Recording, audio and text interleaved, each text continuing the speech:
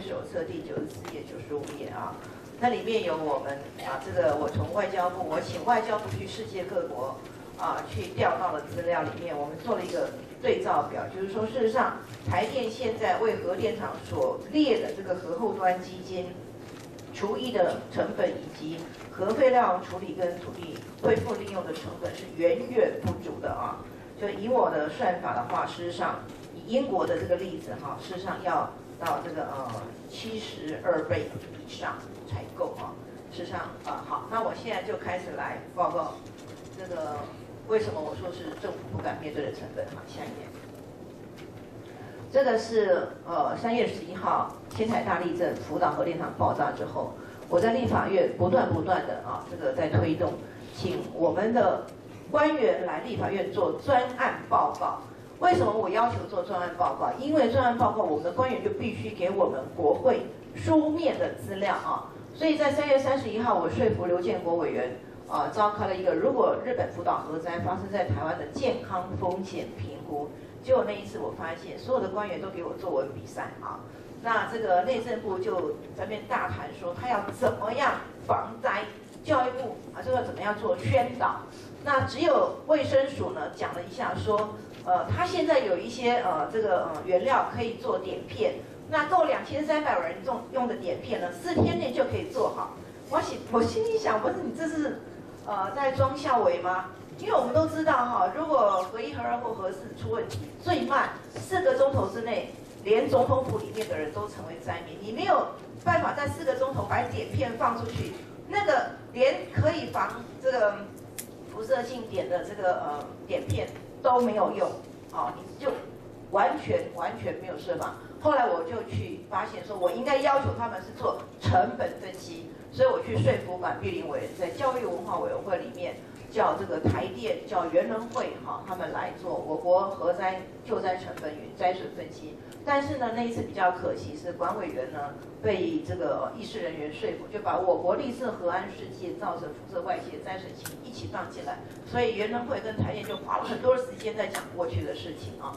但是那一次，我相信大家有知道，就是说他们至少被迫哈做了哈核一核二厂附近的农田哈只算寒疾，只算番薯的损害啊，那大概就只有呃四亿左右。然后当然那一次也被媒体骂了，骂了之后我觉得哎不对，我们为防我们会再来一次试试看哈。五月二十三号，我再拜托刘建国委员再开了一个，若台湾发生核灾。环境社会总成本的评估讲的那么清楚了，该不会错了吧？好，我们大家看一下哈，来下一页。结果呢，农委会这一次他上次挨了骂，他这一次他就乖乖了哈，他把这个核一核二厂三十公里内、核三厂三十公里内的这些渔业、哈农作、畜牧林业灌溉的损失算一下啊，就等于就一百零七亿，还有这个六十六点八亿哈。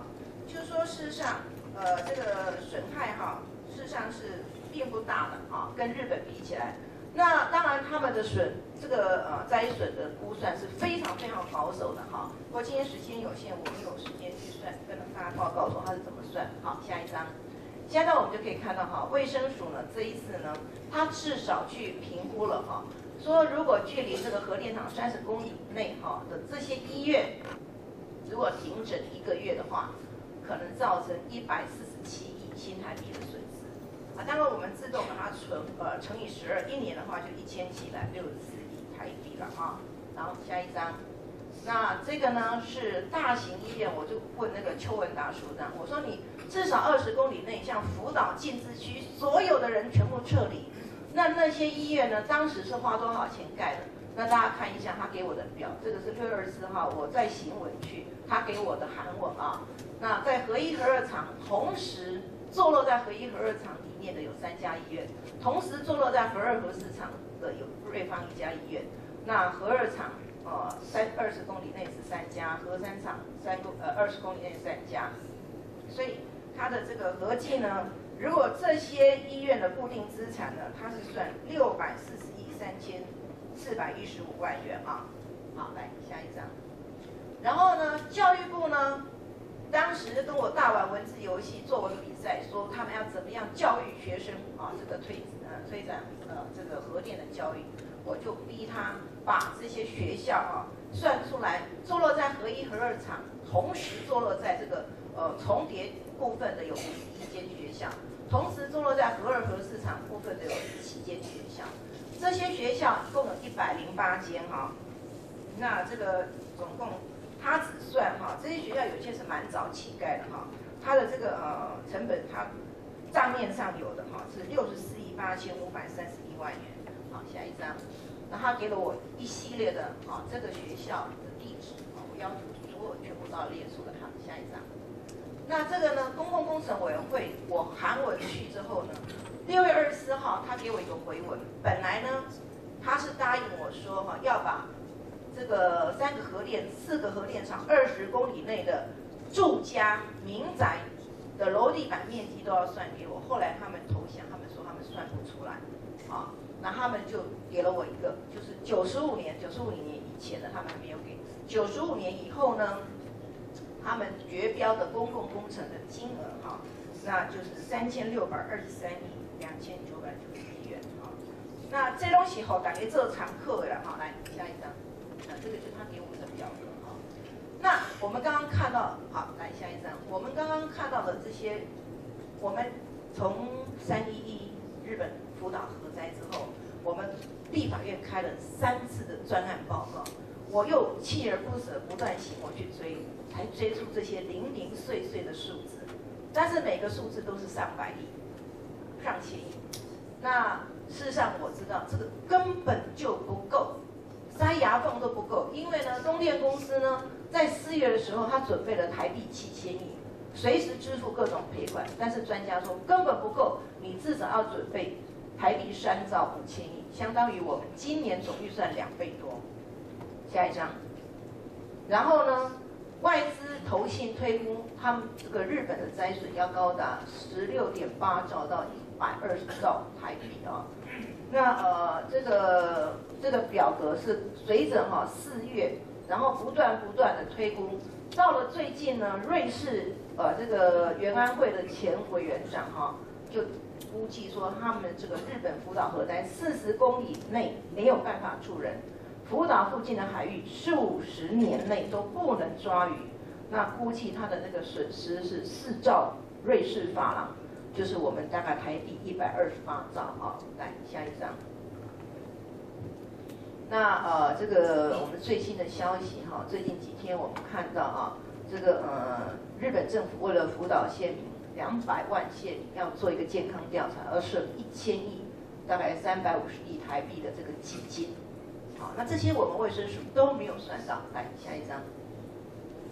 那我这个是我跟我的助理在要求各个。单位来立法院做专案报告之前，我们我我跟我的助理，我办公室的人实际上不很多，我们非常粗略的要求的，就说袁仁会你至少要算出来提供百万灾民点片。我咨询我们袁仁会主，我说核二厂二十公里内多少人？他说报告委员一百五十万人。那邱文达署长说他负责做点片，他不负责发放，发放点片是袁仁会的事。所以我问袁能会，你怎么样在四个钟头内把一百五十万人的碟片发放给大家？我问了他三次，在不同的会议问他，最后他刚开始都说他不知道，最后一次说委员，我们正在规划中。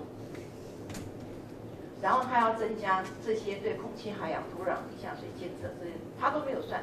教育部呢，核灾发生的时候当然是就地掩护啊，如果是白天当然是就地掩护。你就地掩护，你这些师生的水、食物接送，教育部要不要算？二十公里内，你这些永久废校、迁校、灾区学生安置他校，这些成本你都要算啊！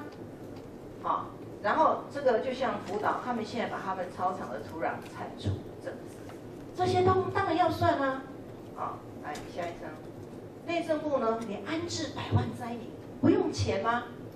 你要长期照顾，不用钱吗？这些成本，内政部到现在不可估算。环保署，嘛是清清菜菜，两两啊供起来。好，来下一张。卫生署，你未来这些离癌、是畸胎、伤害增加的医疗成本、健保的负担，要不要算？你就地掩护的时候，门窗紧闭，所有医院空调关掉，门窗紧闭，院内感染的成本你要不要算？那些医护人员的食物、医疗用品的这个怎么样送给大家？要不要算？二十公里内这污染区的医院紧急撤离安置成本要不要算？你辐射污染伤患、除污的污水，你院内辐射，我还跟大家讲，邱文达署长告诉我，用一般病房就可以救治这这些。我们如果大家被辐射污染，他说一般病房就够。我说问题是。你一般病房你要进去，你是不是要先除污？他说对，你没有除污，你进不了医院。但是我跟大家讲，我们在机场外面看到那个流动型的除污车，你知道全国有几辆？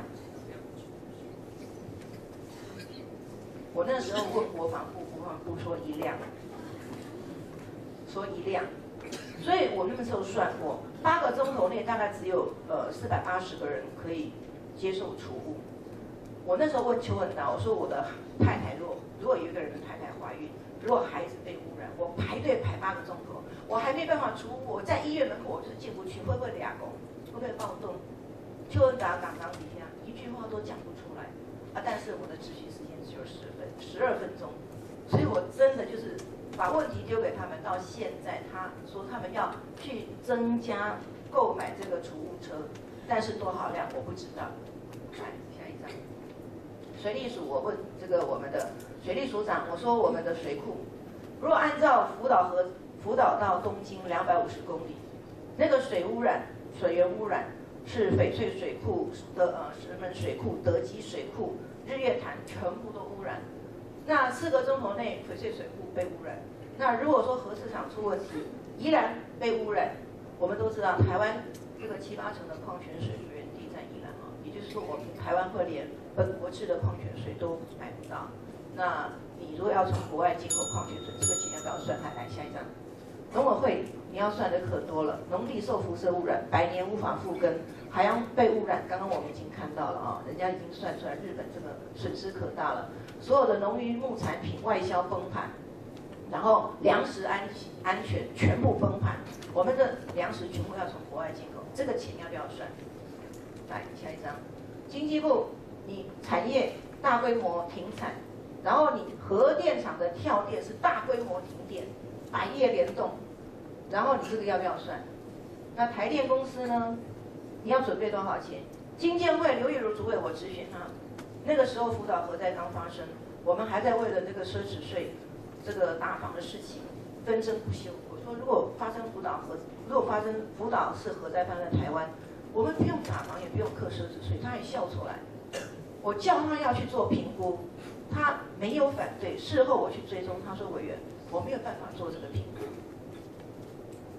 下一张，交通部也是啊。如果核灾地震，我们台北市台北县的桥梁段，你怎么撤退？观光局你不用去算吗？日本人现在观光多惨，你不用算吗？中央灾害防治委员会，给龙装昏迷、装植物人，没有一个要去算。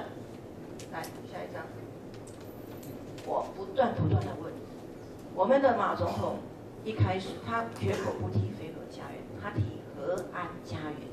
既然要提和安家园，他们要要求百分之百和安，除了百分之百和安，还有和安吗？结果你们看，吴敦义院长到后来无可逃避，给我回了一句话，他说：“委员，我连我下个礼拜会不会感冒我都不能保证了，我哪能跟你保证这个？”这个就是我们的副总统候选人陈桂林董事长，他竟然，我问到我的咨询时间晚了，我还不肯下台继续追问他，他最后不仅不回刚委员，我做的是发电事业，我不负责保证。